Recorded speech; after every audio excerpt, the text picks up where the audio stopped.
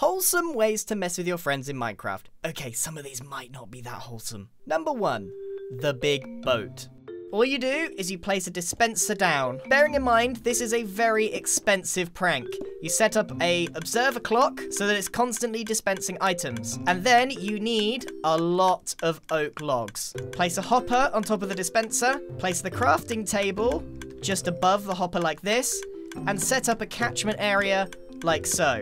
You stand one block away, right click the crafting table, and start crafting boats. Lots and lots of boats. Now you just gotta press Q on this and not put them in your inventory or it'll be much slower.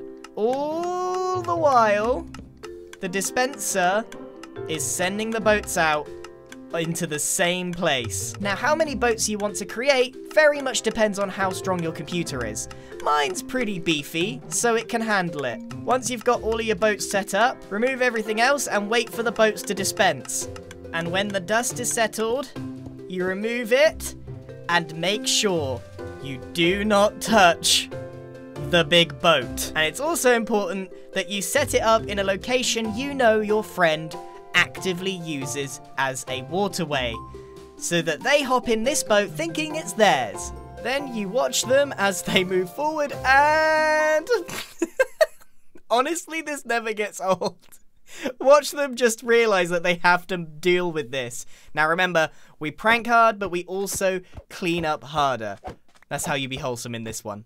Number two, the magic trick. Now for this one, you're going to need an ender porter. If you don't know what that is, you basically throw an ender pearl into a soul soil bubble elevator and you let the ender pearl just bounce there.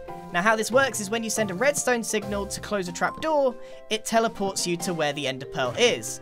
Basically, we have a remote redstone teleporter. Now how we're going to use this is as a magic trick. So this is how it works. You link up a secret button to a very well hidden ender porter, and then you do the following. You tell your friend you've got something to show them. Follow me. You rush into the house, rush into the cupboard, press the button, and watch them watch you disappear. Quickly, rush behind them, and scare them. From their perspective, it looks like this. They get your attention, you follow them in, just like before, and guess what? Boom, they vanish. You might hear them appear behind you, and surprise, surprise, there they are. Number three, the double door. This one works particularly well if your friend has a spruce door. What you can do is basically produce a PearlescentMoon style door by adding two spruce trapdoors. And if you really want to get insane with it, add another spruce door on the inside to really confuse the heck out of them when they try and get in their house.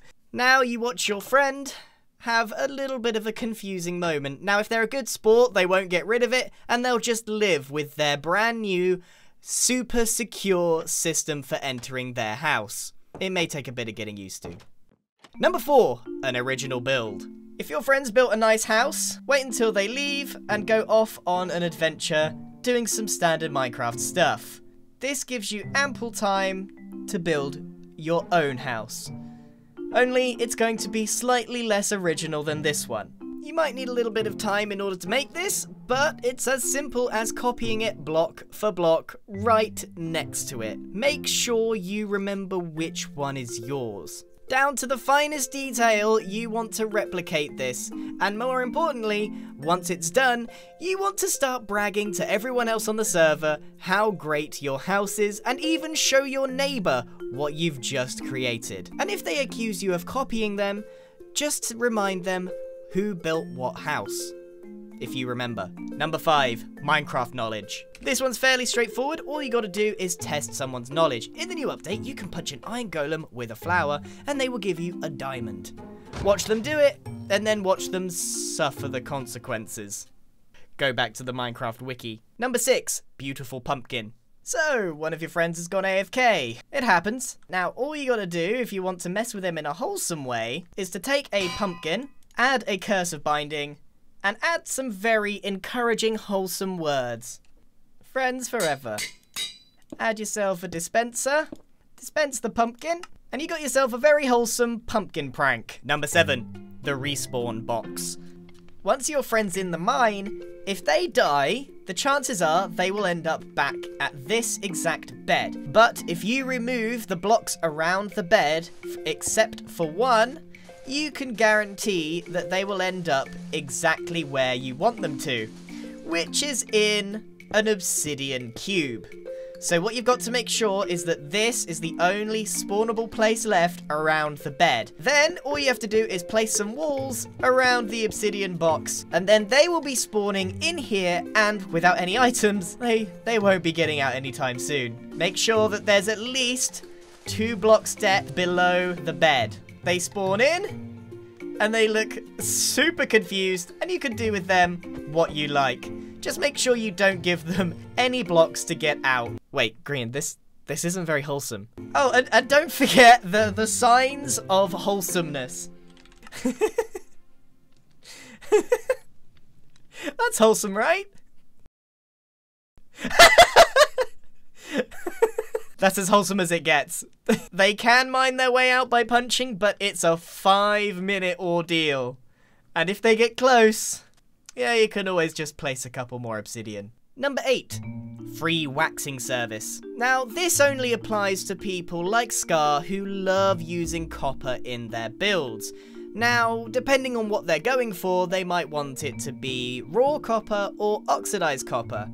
Basically, whatever way it goes, you've got to make sure that you use some wax to make sure that some of the blocks don't seem to age properly, and then watch them get very either annoyed or confused or both.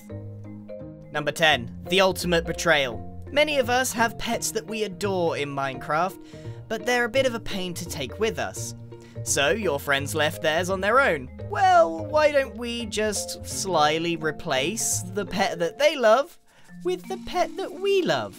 Pop their wolf in a hole or whatever pet they have, cover it up, and push your pet in its place. When they return, their pet suddenly won't listen to them, and you can watch the confusion in their face and see how long it takes them to work it out. Number 10. Surprise! Does your friend use a composter regularly?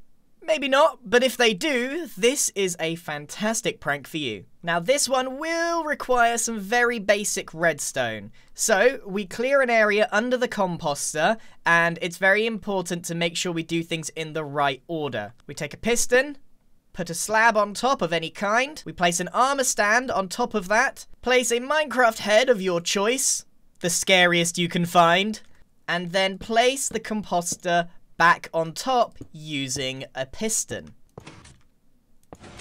It should look something like this, with a little bit of a waffle hanging out the top there. Then, use any kind of plant to cover up the head here.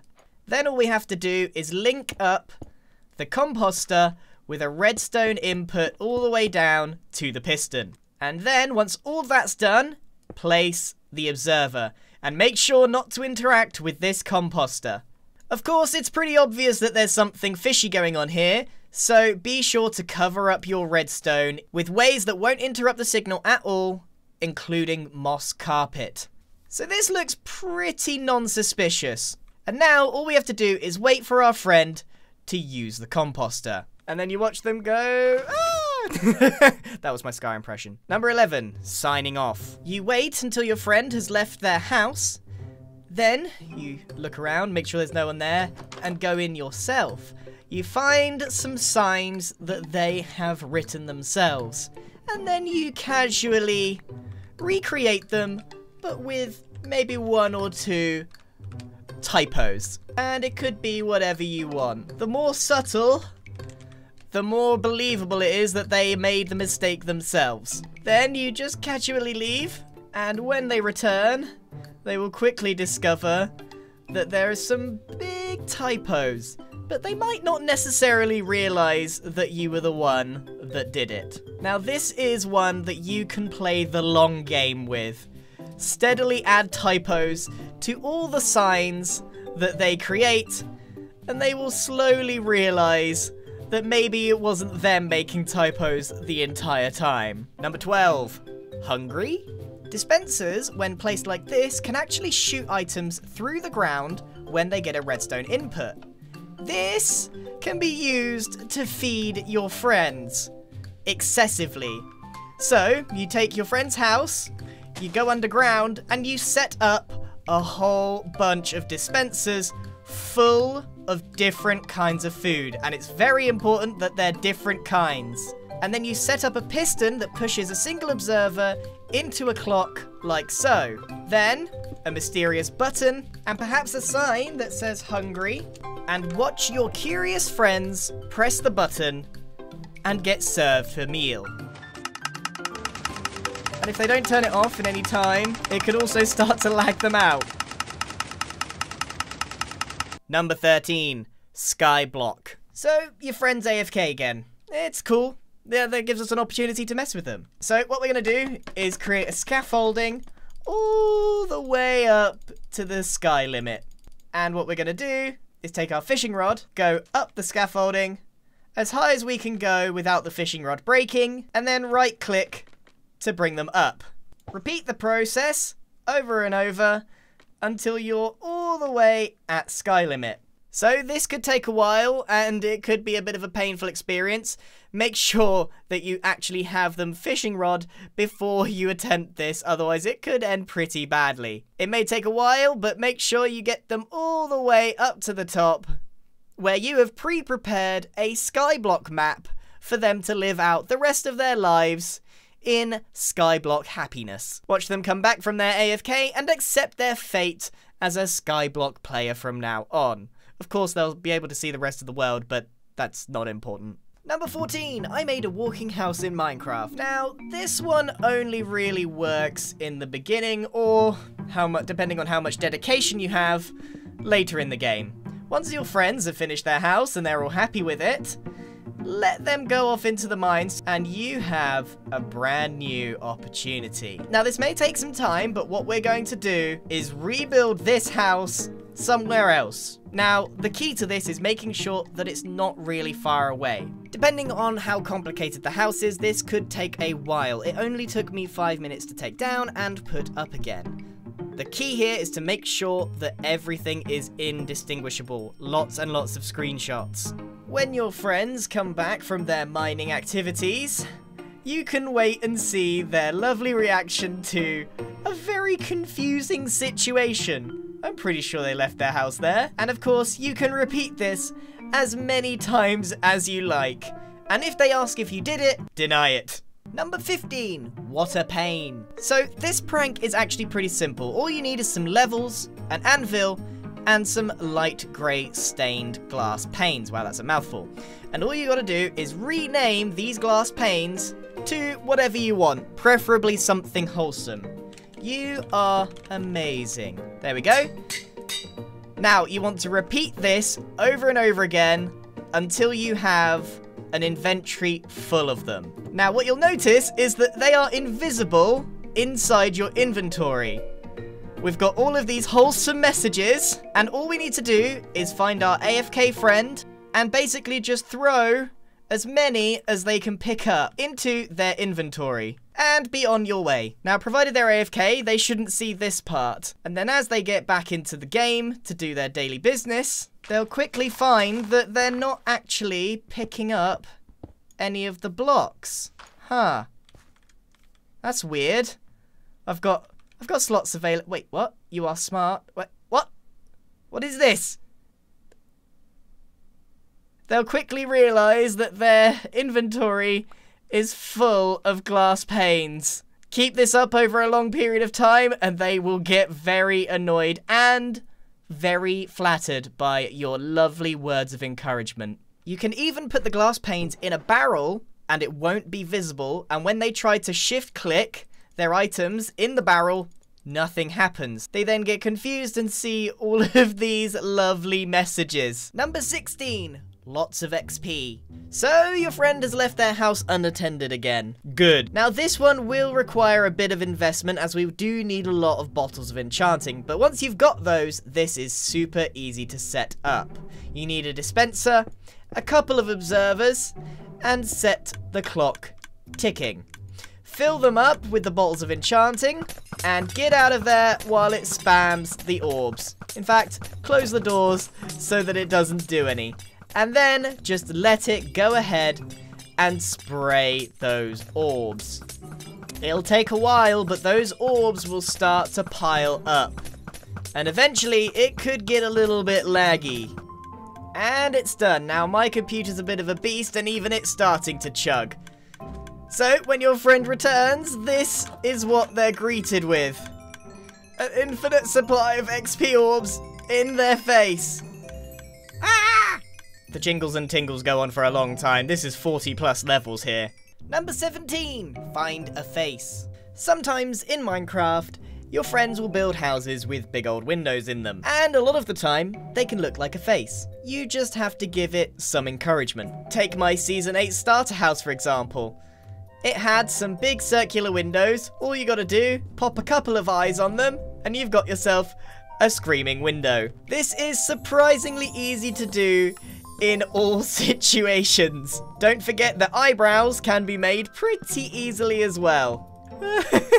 a very simple and wholesome prank that you can add to any of your friends' houses. And if you want to take it a step further, you can of course add a nice mustache.